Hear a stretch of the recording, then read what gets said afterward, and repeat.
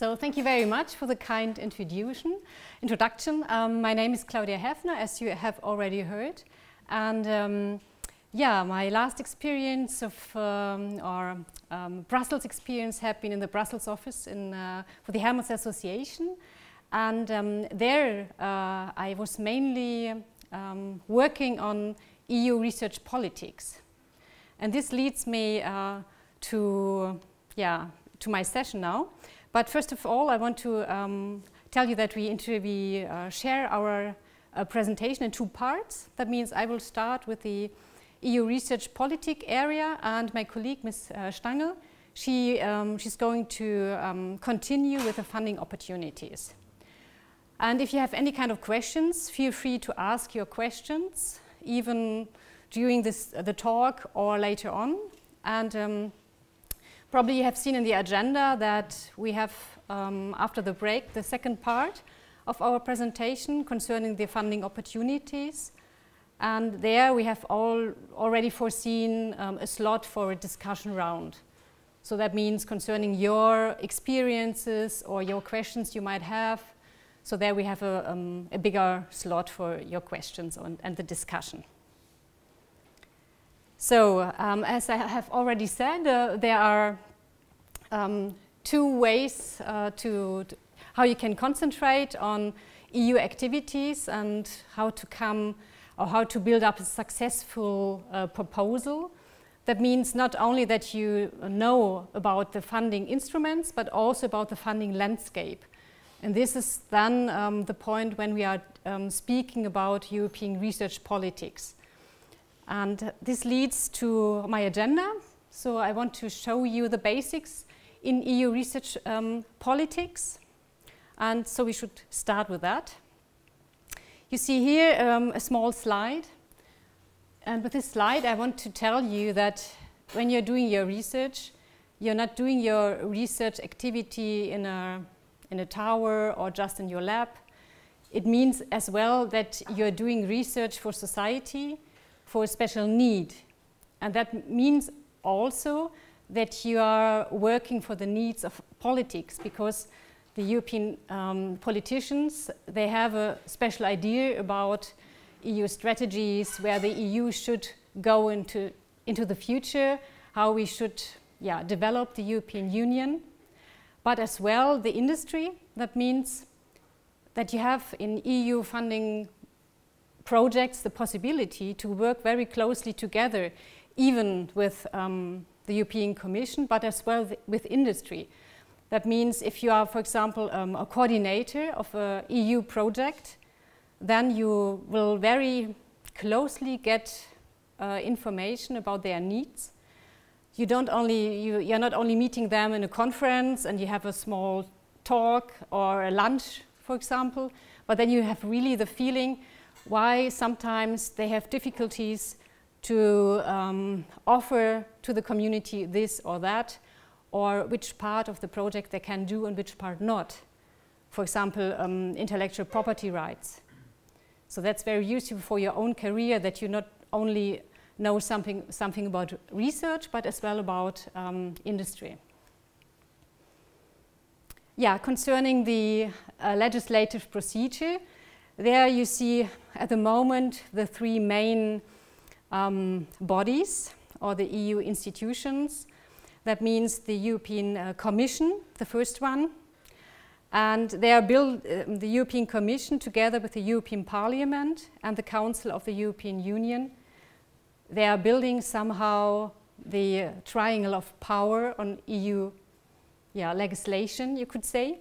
And very important for you to know is for you to know is that the European Commission is the one who's um, starting with a proposal for a legislation, but the other um, EU institutions they are as well involved. That means the European Parliament is um, giving comments, the Council of the European Union as well, and they have to um, yeah, they have to agree to this leg legislation. Because very often uh, in the news it is said um, the EU is doing this or that. And a lot of people are then thinking about the European Commission. But very often this is not the European Commission, but the Council. So um, this means the Council is um, the Council of the European Union. Um, there you can see the, the, the, the, part of the member states. There are the minist ministers um, taking part. And this means very often they are the, um, the national member state, the national, yeah, um, uh, countries, which are, um, for example, changing legislation, for example, on um, CO2 emissions. Mm? Very often they're then reducing a goal which was set by the European Commission.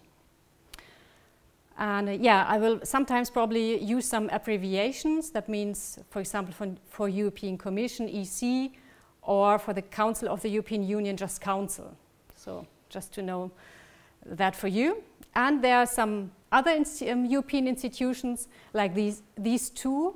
These are somehow older EU institutions, the European uh, Committee of the Regions and the European Economic and Social Committee. They are very often um, at the moment writing position papers concerning special legislation, legislative uh, drafts of the European Commission. Um, yeah, and important for you to know is that the European Commission is built up for a certain time period. These are uh, five years. So um, the, the current European Commission was built up in 2014 and will be renewed in autumn 2019. That's probably somehow important for you to know because this is already next year and you can nowadays already feel that there is a big change um, concerning um, how to yeah, how to put priorities on the Brussels, Brussels level. Here you can see um, the priorities of the European Commission and these kind of priorities are set by the President of the European Commission. And you see here that um, seven of these priorities um, are fed, you could say, by, by research, by RTD. Hmm? And if you look up these seven um, relate to RTD related um, priorities, you can see they're very close to, to market orientation. Hmm? You see, for example, the second one, uh, a connected digital single market, um, or for example, um, um, how we say, um, a reasonable and balanced free trade agreement with the United States, for example. So these are, they can already see that there's a, yeah, a, um, a strong link to, the, to market relations orientation, but also to some um, thematic areas, like, for example, energy. You can find the energy union. This, this is the, the third one with the, the windmill. and a climate, um, yeah, fighting climate change, for example. And this leads as well to other political, um, I say, backgrounds. For example, the um, SDGs, the, the, Sustainable Development Goals from Paris. So all these kind of um, political agreements, you will see they find um, a special way into the uh, funding opportunities, to which we'll come later on. And another example here is um, uh, number seven, Europe as a strong global actor. There, for example, you can have in mind um, the PV industry, which was quite strong in, in the EU, but nowadays the P, uh, photovoltaic industry is quite weak. And it was an active decision by the Commission that they want to build up a, a new, I say, a second or a, yeah, industry 2.0 for photovoltaics in the EU. And they want to become the EU as a global, global leader in this field. And the, all these together leads or comes afterwards in a work program or in a funding um, activity. So one of these uh, political priorities is the Europe 2020 strategy. You see five objectives, employment, research and innovation, where you can find yourself climate change and energy, education, and fighting poverty. So you can see these aims or um, objectives are quite uh, open. Hmm? You can, for example, on fighting poverty, you can put a lot of things into that. But if you see the um, three main pillars, there you see again what I said before. There's one word which is always repeated, it's growth. Hmm? This leads again to, to market, somehow also to, this, um, to the, um, the first word here in, in the pillar of smart growth, innovation. So there you can see all this together um, works on the EU agenda for jobs and growth. Probably a lot of you have already heard about that because this is at the moment the big um, word for the, for the uh, current European Commission. And probably we will come back to that later, but if you have in mind that the, the Commissioner for um, Research and Innovation at the moment is Mr. Moedas, who had been, uh, who worked before that um, at Goldman Sachs. So this gives you the orientation um, how research in the EU is at the moment um, evolving. Yeah, and probably there it's important to know um, in which time period the Europe 2020 strategy was created. In, um, for example, the, um, the strategies um, for the time period of 2010 to 2020. And if you remember, in 2007 we had the financial crisis, which came or, which um, um, which was even worse in 2010. And this, if you have this in mind, you can also very good understand that here the EU competitive, competitiveness um, and the innovation focus is so strong. And again, here jobs and growth. And for example, if you see the 3% um, um, objective for um, uh, for of the G GDP for research and innovation, you can be sure that this is not reached in each member state at the moment in the European Union. But this is the, the goal to reach. Yeah, one part of the um, Europe 2020 strategy is the Innovation Union, um, which you can see here in the, in the first uh, slide of smart growth. Um, here, these um, small bullet, bullet points, they are somehow flagship initiatives. They can also see that the word flagship is, is used in different uh, contexts of the um, European Union or the European Commission. And um, yeah, this innovation union is therefore to realize the European research area or to, to foster the European research area. This means also for you as researcher that you can freely move to another country and that you have the possibility to um, yeah, to, to do your studies in different countries, to, yeah, to have mobility of researchers. And there it's very important for you to know, I hope you can read it there because it's written in, in white letters, is the Innovation Union Scoreboard, um, in which we have uh, special indicators, which at the end show, um, should show a successful innovation system in the member states. And, this, oops, and this at the end is very important for you, for example, if you are interested in some special funding instruments, as for example, widening participation, spreading excellence. That means that you work together with um, EU countries from the new member states. But probably we will hear something about that later. Another example where um, the European politics are important for you is, for example, the Brexit in March 2019, um, because a lot of EU projects, in a lot of EU projects, we have collaborative projects. And this means that uh, somehow different nationalities are coming together and doing research. And there's the question how um, it will evolve after the Brexit. So at the moment it's not, it's not sure, but we can say that the approved EU projects will for sure, will, will for sure continue and that signed funding agreements will remain valid. So this we can say, but it is somehow very, um, very likely that there will be somehow a change of the uh, concerning the participation of the UK in Horizon 2020, the current um, um, um, funding program for research and innovation. And it's important to have in mind that then at this moment when the Brexit is, is happening, that there are no commissioners of, from the UK are taking part in the European Commission. There are no members um, in the European Parliament from the UK. And about somehow we will have a, a loss of regions as well in the Committee of Regions.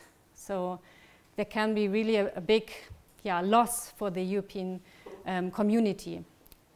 And probably you heard the last, in the last days, I think, think two or three days ago, Mr. Barnier, the, the chief uh, negotiator of the Brexit from the European Commission, he said that it's very likely that there will be a, yeah, a hard Brexit and that this will have an influence on mobility. He didn't say on research mobility or mobility of researchers, but this is included.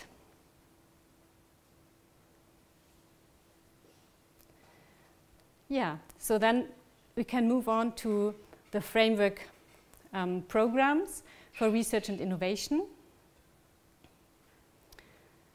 Here I want to show you the, the life cycle of the framework programs. So it's important for you to know that we have yeah, a, a long history of research programs. So it's, I think, 35 years of history and eight um, uh, funding programs which have been already, uh, yeah, I say, run by the European Commission. And very often, nowadays, the life cycle starts with a public consultation. That means that you can um, take part if you are um, yeah, interested person or even a researcher. You can um, leave your feedback to the European Commission. What went wrong with the last funding program and what you would like to have in the next one. And this leads me to the interim evaluation. These kind of interim e evaluations are quite important.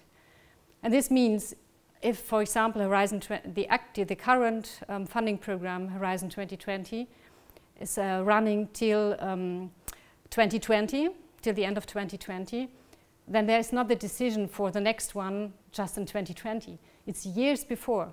Mm. We already started in, I think, 2016 or 17 discussions about the next program.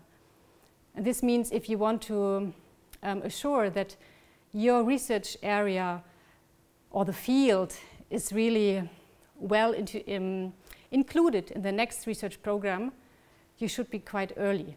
So that's just important for you to know. Yeah, and again, yeah, there you can see the included uh, EU institutions and the member states in this um, cycle for the framework programs. And yeah, concerning the, the influence on your research projects, there I want to say that you that it's very good for you if you just not only read the, the main funding topic, where you can find exactly or quite exactly what the European Commission wants you to do in your research uh, project, but that you already, that, that you have a look on the, the wider scale. That means in the work program and as well in the framework programs and the specific program. And this leads to the um, European politics. With your research project, you should really um, I say, have an, an, influence on yeah, EU um, developments. You should really tackle the challenge of the EU and you should show that because there, there's a big uh, I say, competition for these EU funds, as we heard before. And you have to show why your project is better than another one. And there it's not only um, enough to say, I'm doing very wonderful research. That's not enough. You have to really to show the, um, the influence on society and where you will change the world, the EU, and how you are doing good, good things. Yeah, concerning Horizon 2020, the current um, framework program for research and innovation, there probably you know that is um, yeah, a, a, merge of different former um, framework programs, so FP7 and um, the um, competitiveness, competitiveness and innovation program. And there again, you see the word innovation. So there it's also an explanation why we have so much more innovation and innovation focus in Horizon 2020 than in FP7. And the, the funding period is set already from 2014 till the end of 2020.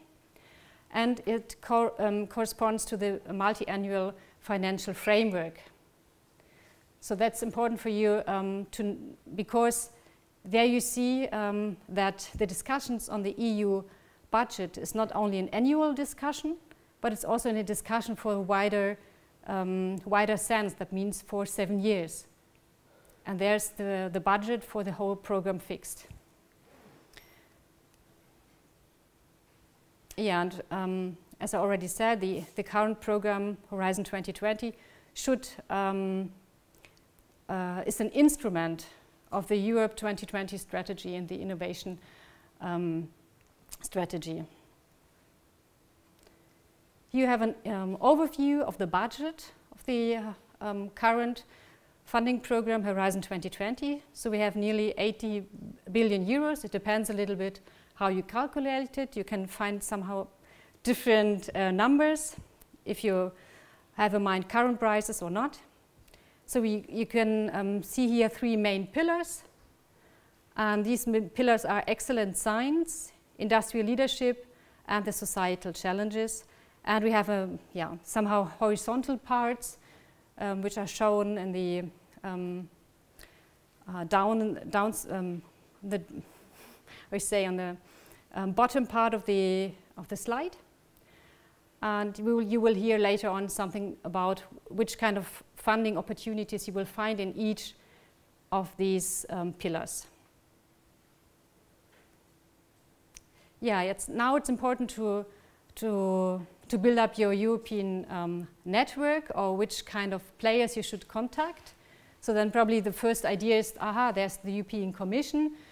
Here you, on the slide you can see all the um, commissioners. You see one president, Mr. Juncker, and 28 commissioners, which corresponds to the member states. That means with the Brexit, there will be less commissioners. But we, had we heard already from Ms. Merkel that probably not each member state must have a commissioner, and probably even not big ones. Hmm? So probably it's a question if we will have a German commissioner or not in the future. But this is only, yeah, how we say, um, a look into the future, which is unsure. So there you can see some um, commissioners which are more or less important for you in different um, areas, as for example the um, the one in the second box, in the green box, who is working on health and food security, or the last one, Mr. Moedas, who's um, yeah, the commissioner for research and innovation, as I said before. And if we are now concentrating on, on research, the um, European Commission consists of, or the, the day-to-day -day work of the European Commission is done by directorate uh, generals. That means they are somehow like ministries in the member states. And in this, um, I call it DGs, like for RTD, for research, or for thematic areas. These DGs um, are quite, yeah, there it's a quite huge number of DGs. So we have 31 DGs. And um, some of these policy DGs are responsible, responsible for different policy areas. That means for different fields, like for example for energy or climate change or health, as I said before. But they have executive agencies. And at the moment we have six executive agencies. And these executive agencies, they are managing the union programs. And this means as well Horizon 2020. And if we now look in the or organigram of the DG RTD concerning research and innovation, there you can see that they have that there are executive agency related um, related to them. And the most important ones for you are is the RIA, the Research Executive Agency for um, Research, and the European Research Council Executive Agency. And yeah, this is just important to have in, in mind that policy and management of the framework programs are divided. They are not done by the same institution. And this is also very important for you if you then uh, think about contacts, whom you should contact with which issue. You can find a very useful um, page of the European Commission, which is called Who is Who.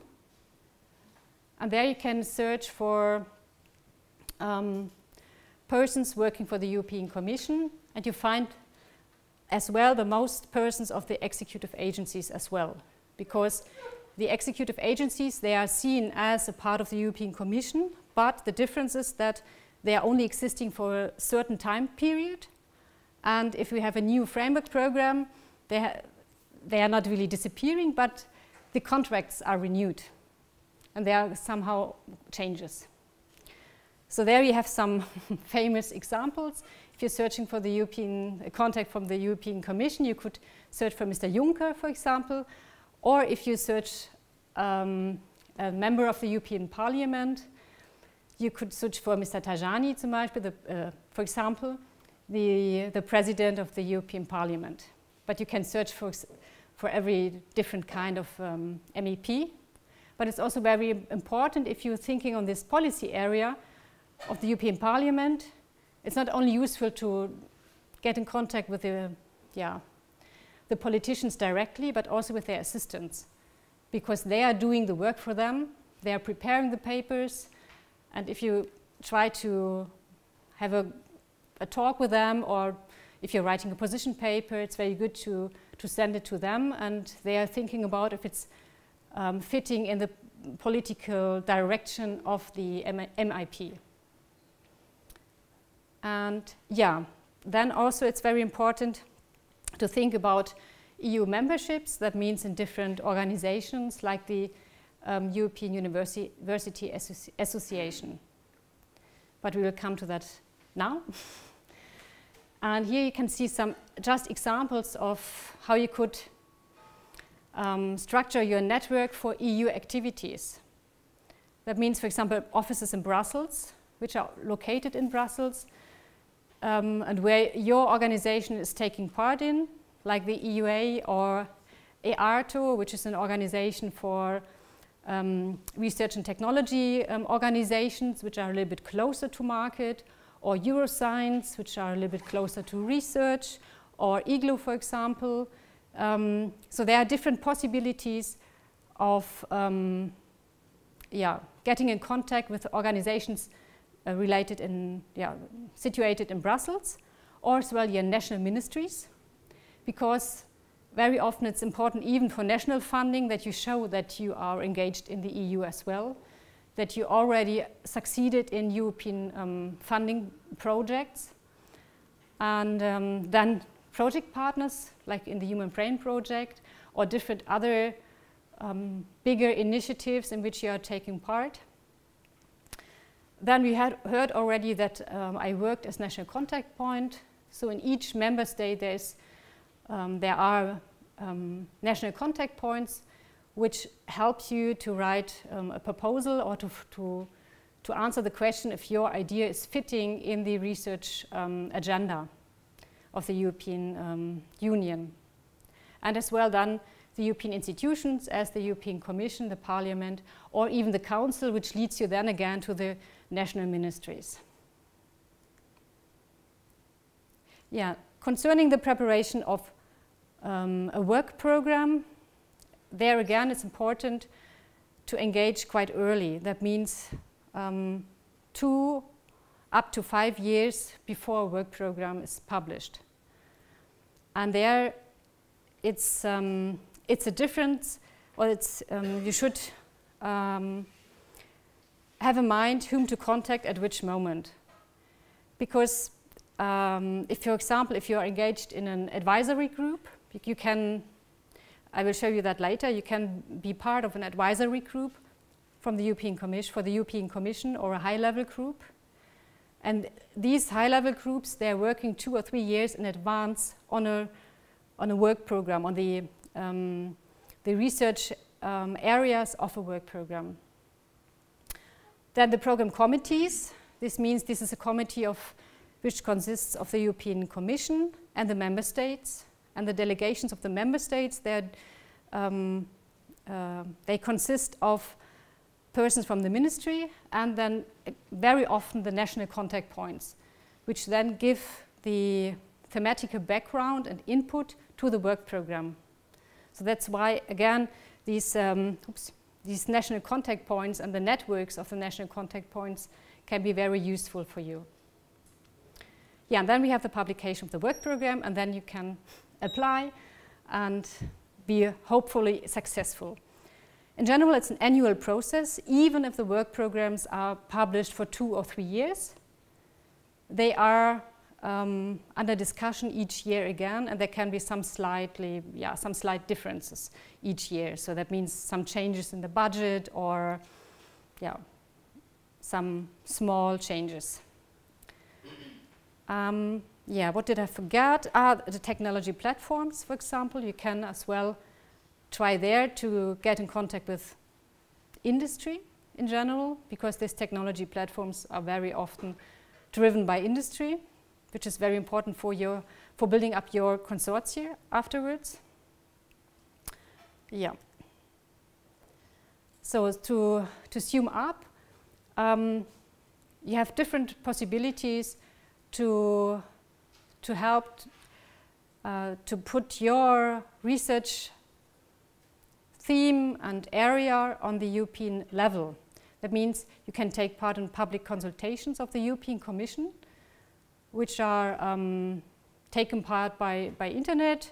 You can there, um, you, if you're, for example, interested in a special, like the future program, um, Horizon Europe, there you can write a feedback of a certain um, amount of words, but very often you can upload also um, um, a position paper if you have a, something to say about the actual or current research idea. Then strategic projects, because if you are in somehow strategic projects like flagship initiatives, if you are in a flagship project, it's very, very often the Commission is getting in contact with these kind of strategic projects because they are uh, very important for building up a certain research community in a special area. And the European Commission is not, doesn't want to build up research programs which are not um, fitting to the research community. So that's um, why they're getting in contact with the successful uh, managers of EU projects and they are asking for their input and their um, experience. Then memberships, that means committees in which you can take part. There are different um, associations in which you can have your say or your, your input. And the program committees again, that means your um, national ministries. And last but not least, you can become an um, evaluator for the European Commission. That means an expert for the European Commission. There's a special web page on which you can um, submit your proposal, where you can say what you're doing, what kind of research you are doing. And if you once enter this data set of the European Commission, um, you could be, um, how say, invited to evaluate other proposals. And that's very useful for you because on the one side, you are getting closely in contact with the European Commission and what they are, um, what they are willing to, to fund and you, you can see as well what the, the other parts of the European research community is doing and preparing at this moment. Mm. But you have to, um, at, the mo at this special call, for example, when you are an evaluator, you cannot take part in a European project for sure. Yeah, concerning now the next um, framework program for research and innovation, we have a first draft of, of the European Commission. It's called Horizon Europe, so it's quite um, quite uh, the same name. So Horizon 2020 is uh, renamed in um, Horizon Europe after 2000 um, or at the beginning of 2021. And there had been a midterm evaluation of Horizon 2020. And this midterm evaluation um, said that there should be not a, a, big revolution, but an evolution. That means there are some, some parts um, which you can, can see they are um, consistent of Horizon 2020 and Horizon um, Europe.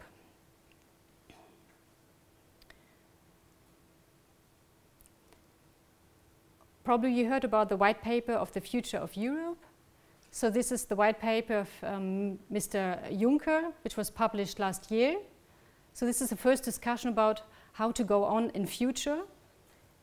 But this is not really the, the basics for Horizon Europe. At the moment, we ha haven't this kind of basics because the European Commission will be renewed next year, and the new Commission will decide on that and not the old one. So we have to wait for that. But for sure, um, we know that um, Horizon Europe is more mission orientated and not anymore challenge driven as Horizon 2020 at the moment. And this kind of mission orientation um, leads probably as well to a change of the flagships.